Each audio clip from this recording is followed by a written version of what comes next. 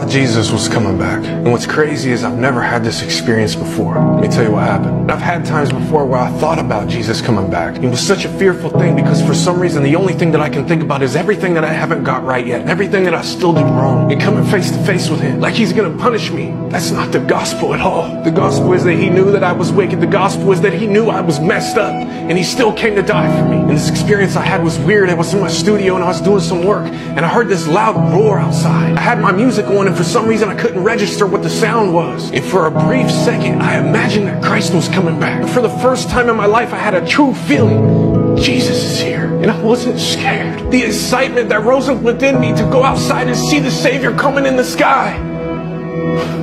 It brought forth a feeling I've never experienced in my life. And come to find out it was just a train. But it was more than a train. It was God telling me to stop focusing on my failures and stop focusing on my flaws.